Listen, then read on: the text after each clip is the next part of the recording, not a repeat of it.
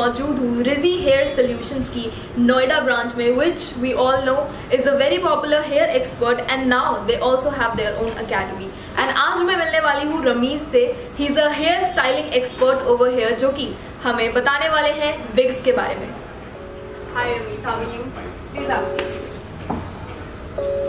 तो सबसे पहले तो भाई बहुत ही यूनिक कॉन्सेप्ट है, बहुत ही अच्छा कॉन्सेप्ट आपने इंट्रोड्यूस किया है। लेकिन अभी भी हमारी इंडियन ऑडियंस को विग्स को लेकर के काफ़ी कन्फ्यूज़न है। तो मैं आपसे जानना चाहूँगी कि किस किस सिनारियों में हम विग्स यूज़ कर सकते हैं?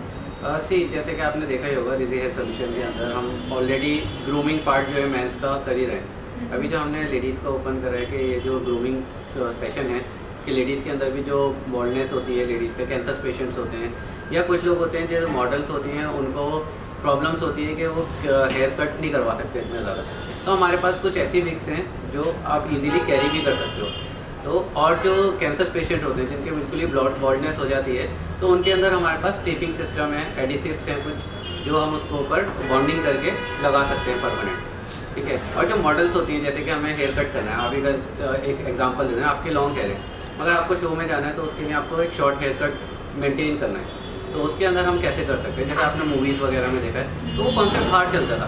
अब हम उसको एक नया लेकर आए हैं इंडिया के अंदर जो हम हम यहाँ पर कर राइट तो मतलब बेसिकली अब जो है बहुत ज़्यादा ईज हो गई है because we have a lot of options in wigs and अगर विग नहीं जा रही है तो हम एक्सटेंशन भी yeah, कर सकते बिल्कुल बिल्कुल।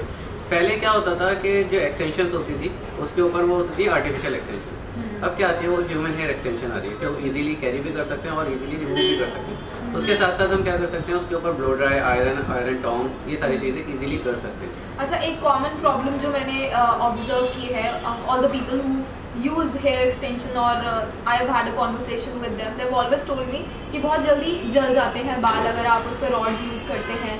तो इसके लिए भी कुछ आपके पास सोल्यूशन है? बिल्कुल। सी देखिए सबसे पहली चीज़ है कि डिपेंड करता है कि आपका नेचुरल हेयर भी अगर आप नेचुरल हेयर के ऊपर आपके आयरन या टाउंस करूँगा तो डिपेंड करता है वो टेम्परेचर क्या रहता है।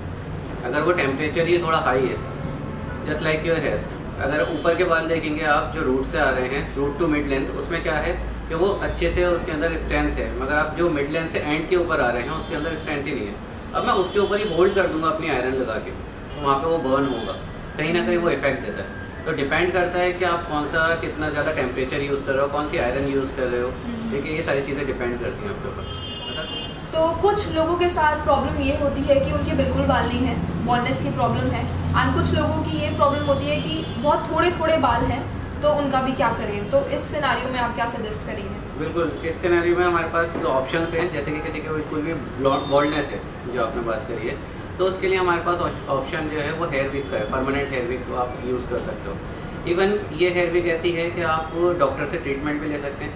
अगर वो कहता है कि हाँ मतलब कि कुछ भी ट्रीटमेंट्स हम कर सकते हैं जिससे वो थोड़ा बहुत ग्रो भी कर सकते हैं जैसे कि कैंसर पेशेंट्स होते हैं। अगर बाल आ सकते हैं एक ऑप्शन होता है। यहाँ पे तो ऑप्शन है कि एक साल तक के लिए वो कैटेगरी ही खत्म हो गई मतलब बाल तो आ ही नहीं सकते कितना बाल ग्रो कर लेगा एक साल में? ठीक है? तो उसके लिए हमें विक लगानी ही पड़ेगी। मगर हमारे पास जो विग है वो आर्टिफिशियल नहीं है। रियल हेयर है। तो ये विग बेसिकली आपके डे टू डे रूटीन की एक्टिविटीज़ से बिल्कुल इफ़ेक्ट नहीं होती। आप इसको नॉर्मल हेयर की तरह नॉर्मल हेयर की तरह कैरी कर सकते हैं बस इसकी सर्विसेज़ होती हैं। हम्म। तो वो हमें आके वन मंथ या वन एंड हाफ़ मंथ में आके आपको चेक कराना होता है और सर्विस करानी होती है।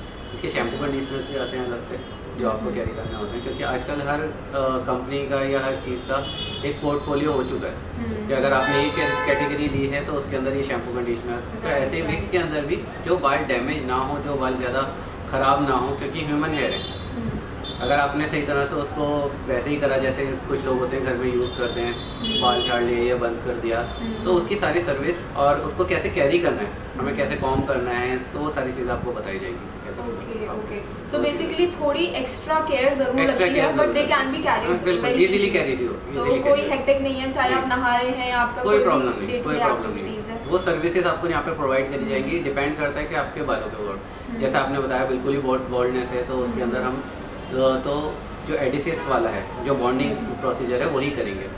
तो मेरा नेक्स्ट क्वेश्चन ये है कि आपने बताया कि अगर बिल्कुल भी बाल नहीं है तो आप वेग सीधा सीधा आप रिकमेंड करेंगे। लेकिन अगर थोड़े बहुत बाल हैं तो उनका क्या सोल्यूशन है? उनका सोल्यूशन है अगर कोई कुछ लोग क्लाइंट कहते हैं कि नहीं हमारे डॉक्टर से ट्रीटमेंट चल रहा है मगर क्या है कि वो दिखने में अच्छा नहीं लगता। ये बॉल्डनेस हो रही है जा रहे हैं बाल एलोपेशिया वाले क्लाइंट से या कुछ भी चीज़ है। तो उसके ऊपर आर्टिफिशियल जो विग होती है जो हमारे पास है ह्यूमन हेयर की, मगर विग तो है ना तो उसके ऊपर वो यूज़ कर सकते हैं हम क्लिपिंग सिस्टम के साथ। मैं अभी आपको दिखाऊँगा जब हम प्रैक्टिकल करेंगे तो उसके अंदर क्लिपिंग सिस्टम कैसे हम उसको एड ऑन कर सकते हैं। ओके तो वो तो वो सिनारी हो गया जिन लोगों की थोड़ी बहुत लेंथ है बट वॉल्यूम नहीं है उन पे हम क्लिपिंग उनके ऊपर भी कर सकते हैं जिनके बाल एलोपेशिया से जा रहे हैं जैसे कि यहाँ पर हो रहा है यहाँ पर हो रहा है तो हाँ। उसके ऊपर क्लिपिंग सिस्टम हम ऐड कर सकते हैं। और जिनके कुछ जैसे मेन में बहुत ही कॉमन प्रॉब्लम है इस सेक्शन के बाद रह जाते हैं और बीच के पूरे खत्म हो जाते हैं। तो उस सिनारियों में हम क्या कर सकते हैं? उसके अंदर तो हमारे पास साइज़ के अकॉर्डिंग विक्स होती है। ठीक है शेप के अकॉर्डिंग मिक्स होती है, जैसे कि किसी का बाल है, बहुत ज़्यादा थिक है। जैसे लाइक मेरे बाल लगा लो, ठीक है, मेरे बाल यहाँ से बहुत ज़्यादा थिक है। और अगर मैं फाइन वाली थिक लग, वो फाइन वाली हेयर की विग लगा लूँ तो वो आर्टिफिशियल लगेगा। तो हमारे पास बहुत सारी विग्स हैं। एक आर्टिफिशियल जो होती है, उसके साथ साथ ये क्या है कि जो मर्च कर ले, एकदम से मैच कर ले उसको, वो वाली विग्स हैं हमारे एक कैटेगरी नहीं है उसके अंदर बहुत सारी कैटेगरी है विग्स के अंदर.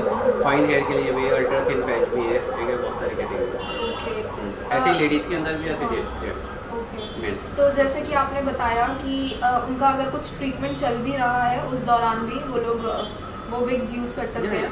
तो कुछ स्पेसिफिक तरीके से आप उसको अटैच करते हैं? बॉन्डिंग प्रोसेस होता है जो बिल्कुल ही बोल्डनेस आ गई है उनके अंदर बॉन्डिंग प्रोसेस होता है. और जिनका ट्रीटमेंट चल रहा है थोड़ा बहुत ठीक है तो उसके अंदर क्लिपिंग सिस्टम होता है जैसा एक आपको कहीं जाना है तो उसको वेयर कर लो कैप की तरह और उसको जब हटाना है तो हटा it is removable easily removable for your, your treatment uh -huh. so at that point of time it can be removed yeah. sounds pretty much convenient so i think we are all set to uh, have the styling done yes. मैं चाहती हूँ अब आप मेरे ऊपर भी कुछ कुछ ट्राई करें so that हमारी ऑडियंस भी देख पाए and they'll have a rough idea how can it be easily used right yeah right let's yeah. get this started yeah.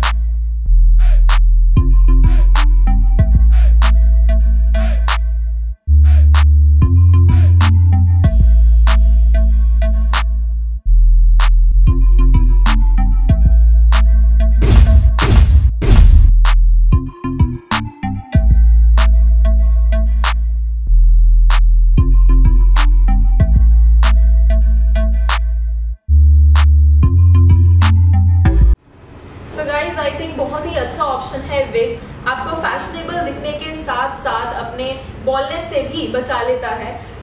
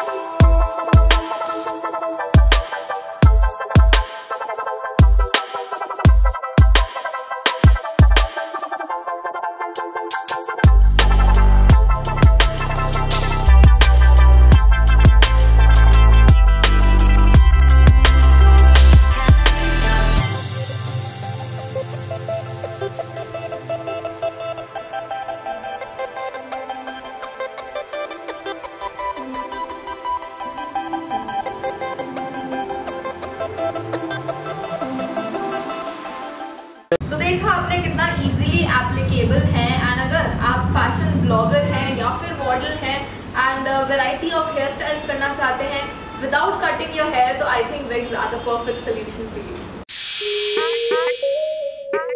you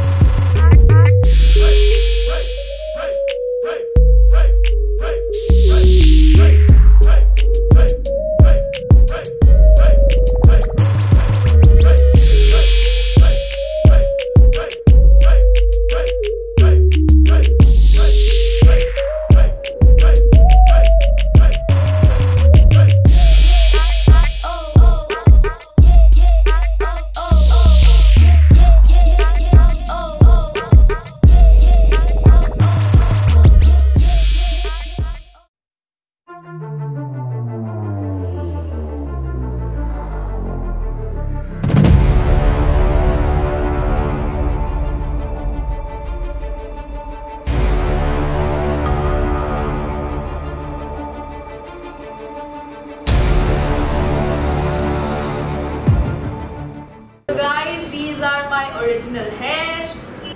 Thank you so much Ramiz. It was wonderful to have a conversation with you. I think हमने काफ़ी चीज़ें already जान ली हैं, but there's still a lot to know. तो अगली knowledge हम देने वाले हैं हमारी अगली वीडियो में. Thank you so much.